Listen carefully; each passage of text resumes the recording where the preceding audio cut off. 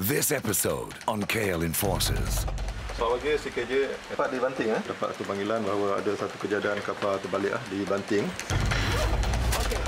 55 of them were safe and then uh, 42 still missing.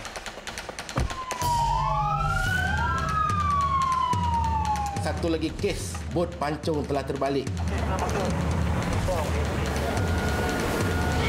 Berapa, berapa knot sekarang ni? Okay, kita sekarang nak pergi ke arah lokasi kejadian kapal garam tu. Masa belum dipindahkan lagi. Get ready to receive one of the body.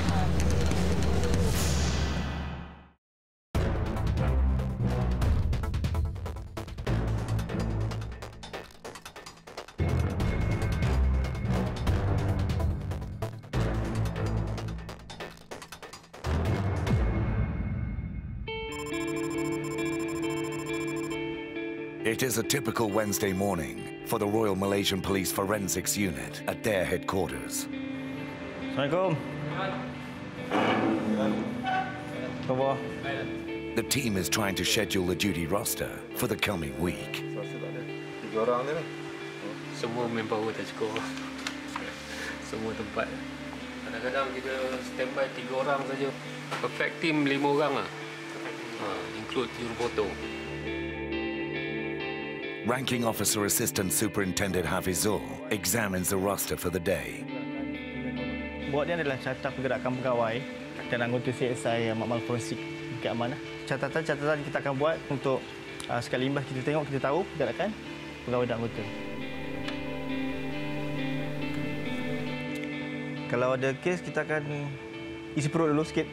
Kalau macam sampai tengah hari kan, kita terima kes maybe dalam sebelum kita makan, kita minum dulu and then kita pergi tempat kejadian dulu lah. Maybe lepas uh, lepas tu kita dah hati dah senang, kerja dah selesai, dia baru kita ada mungkin ada selera sikit lah nak makan. It is 11:35 in the morning. So far, no cases have been reported, and it looks to be a slow day for the team. But that quickly changes. Selamat pagi CKJ. SM Kota Tamam cakap Malaysia Bantu. Di tempat di Banting eh. 11 hours ago, an illegal ferry carrying immigrants sank off the coast of Banting, 70 kilometers from Kuala Lumpur. 97 lives are at stake. Search and rescue operations are underway. The forensics unit is called to assist the search and rescue task force.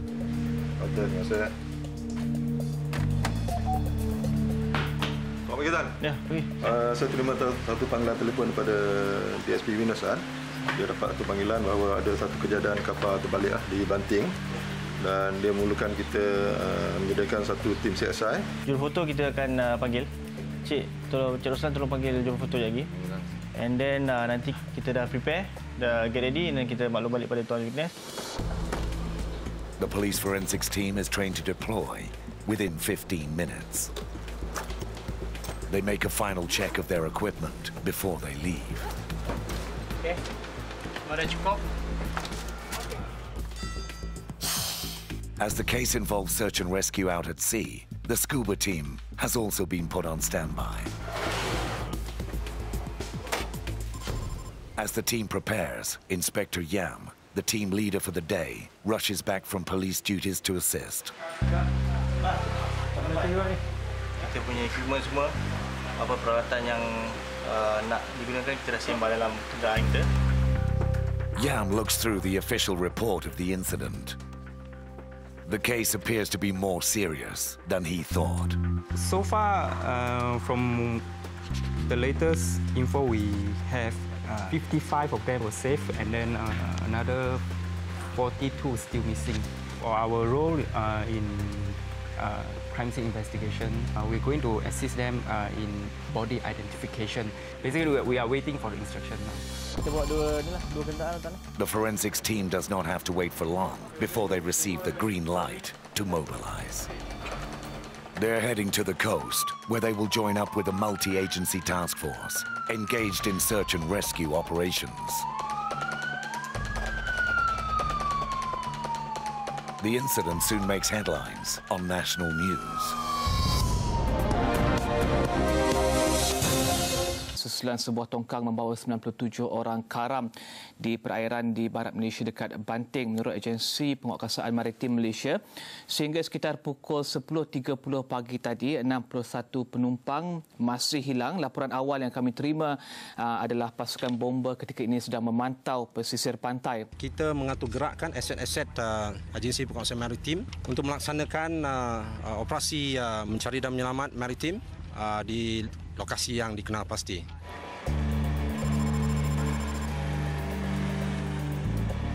Off the coast of Banting, where the incident occurred, the Malaysian Maritime Enforcement Agency has already deployed its assets. Lieutenant Faisal is one of the agency's search and rescue officers.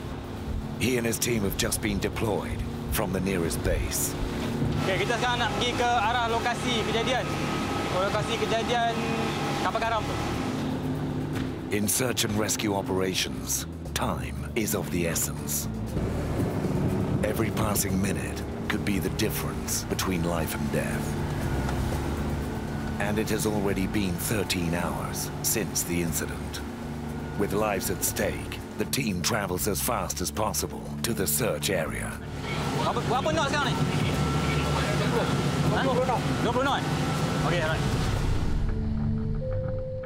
When they arrive, they scan the waters meticulously.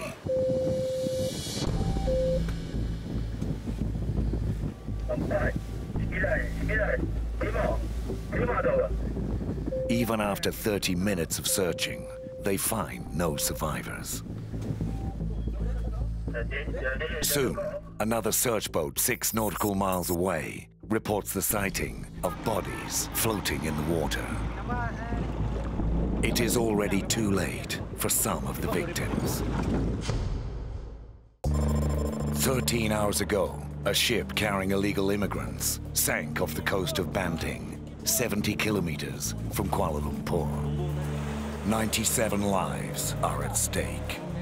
Four government agencies have been deployed for search and rescue operations, including the Malaysian Maritime Enforcement Agency. Okay, kita sekarang nak pergi ke arah lokasi kejadian. Oh, lokasi kejadian kapal garam tu. Lieutenant Faisal is one of the maritime enforcement officers involved in search and rescue operations.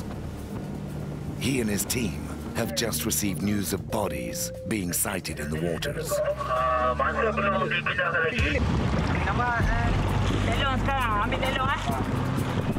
As their speedboat is too small to transport bodies, the officers radio the nearest patrol ship for assistance.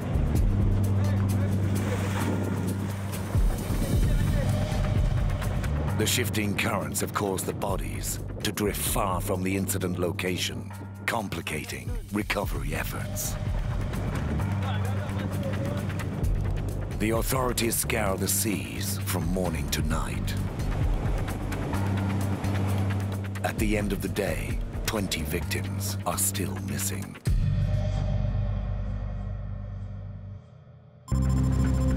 It is now 21 hours since the tragedy struck.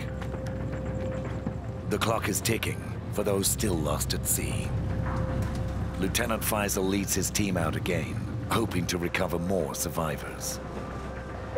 Uh, Papa 23 di sini naik kilo. Uh, teruskan. Mike Kilo ah, di sini Papa 23 Ujian pendengaran Ujian pendengaran His team heads once more to the incident area.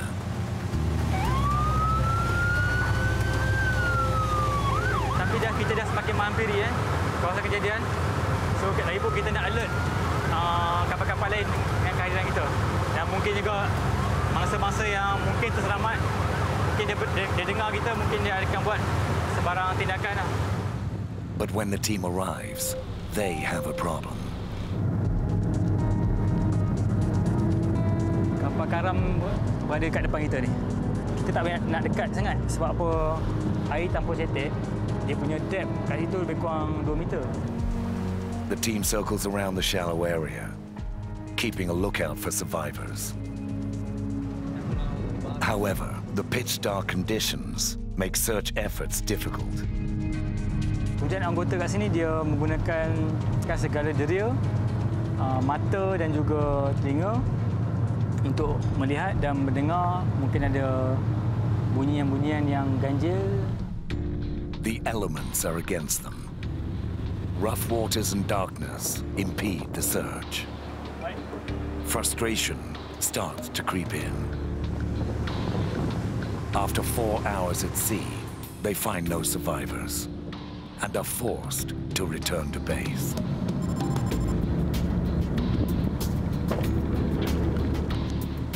Malam kita uh, tidak apa-apa sebabkan keadaan cuaca yang makin gelap dan laut pun yang tak apa elok. Kita akan menyambungkan operasi SAR kita pada esok hari.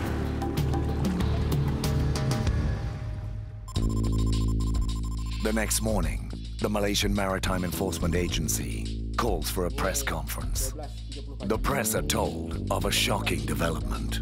Untuk maklumat tuan-tuan juga, kami baru dapat uh, mengesan dan menerima panggilan berkaitan dengan satu lagi kes uh, bot pancung telah terbalik di kawasan api gila.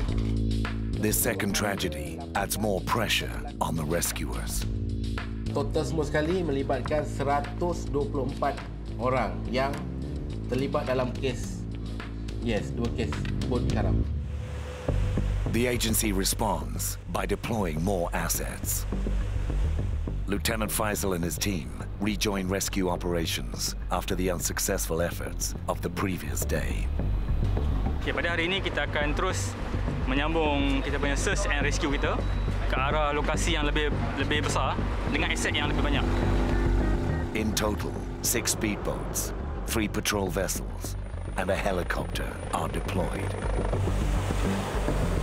Okey, yang saya difahamkan kes yang terbaru yang berlaku adalah uh, satu bot pancung. Kalau pancung penumpang lebih kurang 25 orang. Uh, dia telah karam kurang 8 batu nautika daripada pantai Morit. Just as Lieutenant Faisal's team is about to begin search efforts, they receive good news from their colleagues at sea. Dua mangsa telah pun uh, diselamatkan oleh Rescue 102. Lima mangsa berada di kapal. Kita telah terima satu berita yang ada seorang cedera. Dia, dia telah selamatkan oleh kapal dagang. Lah. Helikopter tu memberi bantuan awal dan segera ke arah ke kepada mangsa yang cedera tu dan mengambil mengambil anggota yang cedera tu ke helikopter dan bawa terus direct ke hospital.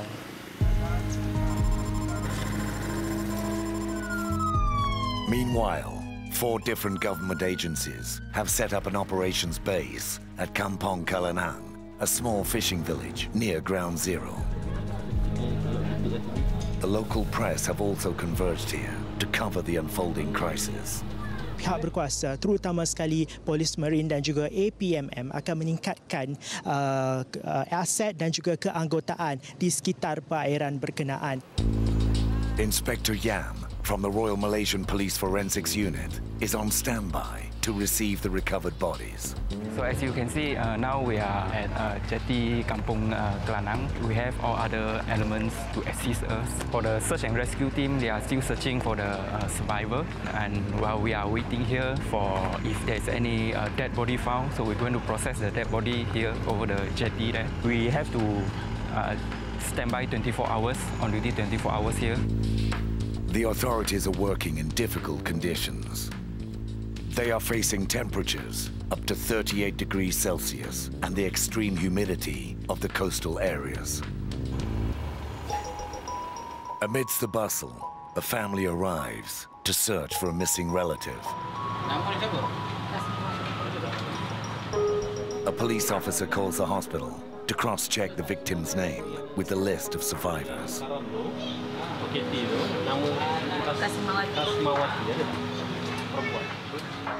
There is no match.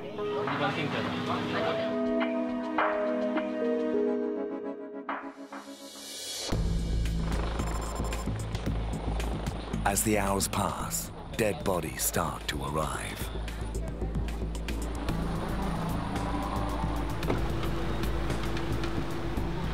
Get ready to receive one of the body. It is now 26 hours since the boat sank. At the search and rescue operations base, dead bodies have started to arrive. Get ready to receive one of the body.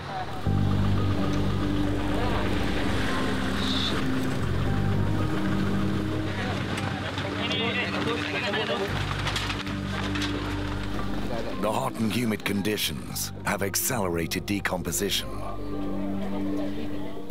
The stench of death permeates the air. Yes, lonsor ke dia, lonsor ke dia. Pull, pull, pull. Ah, that's.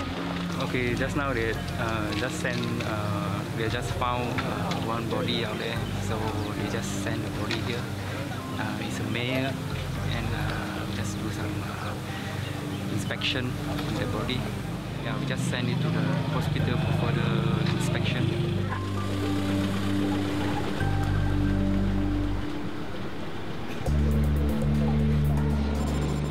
Within an hour, a second body is brought in. The situation is grim. The sight of decaying bodies is unnerving to many.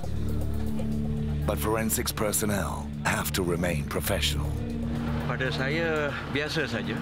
Sudah biasa dengan mayat-mayat. Saya kena terima sebab ini tanggungjawab yang harus saya lakukan.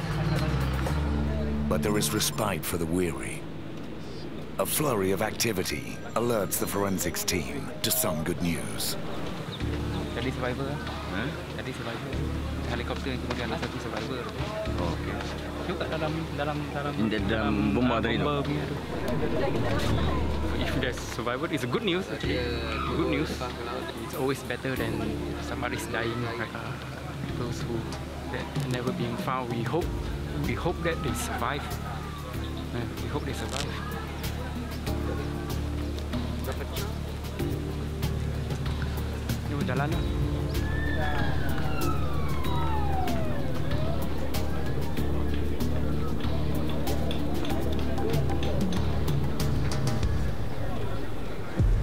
Meanwhile, back at sea, more survivors have been rescued by the Maritime Enforcement Agency.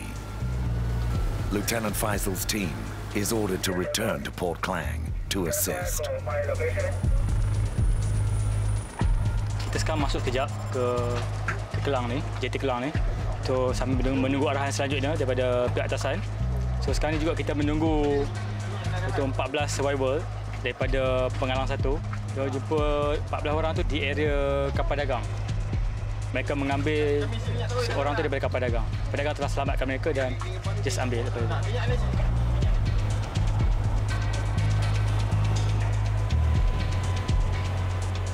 Rasa saya pada masa ini penat bercampur gembira sebab kita at least kita ada penemuan pada hari ini. So kesemua mereka masih hidup. Cik Zuk, berapa orang? 14. Dewasa? 13. 13? Perempuan dewasa seorang? 14 orang. 14 orang.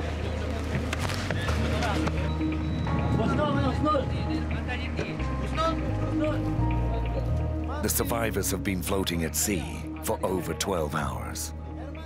They recount their terrifying ordeal. Okey, pelan-pelan. Lalu pelan. Saya difahamkan mereka telah berpaut pada tong plastik dan mereka telah berada dalam air sangat lama jugalah. Dengan masa tu pula keadaan yang trauma dengan minyak petrol yang bertaburan di atas laut. Berapa empat? Uh, semua 17. Yang ni, yang ni semua 14. 13 lelaki, seorang perempuan. Tiga orang lagi naik heli. Ha? Naik heli. Tak apa lagi? Ini ini daripada kes kapal karam yang kedua tu. Sebab ada anggota yang sakit dan ada anggota yang kurang sihat. So mungkin kami akan beri rawatan awal dulu kepada mereka. Lepas tu kami akan bawa mereka ke hospital seterusnya membuat siasatan selanjutnya.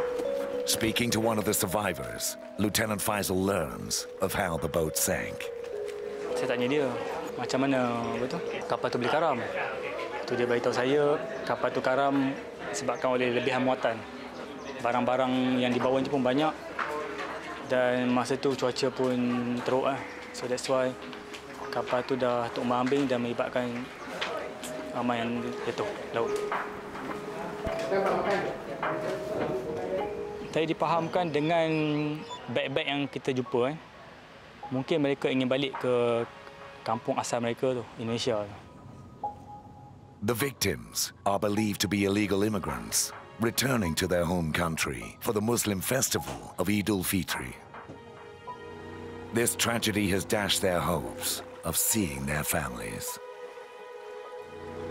Recovering these survivors has raised hopes. But there is still work to be done. Walaupun penat, saya berasa sangat gembira kerana kita walaupun penat lelah, kita mempunyai hasil.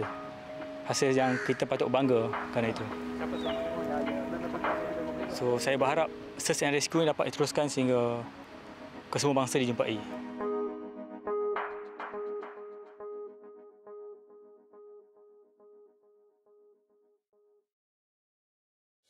Next episode on KL Enforcers.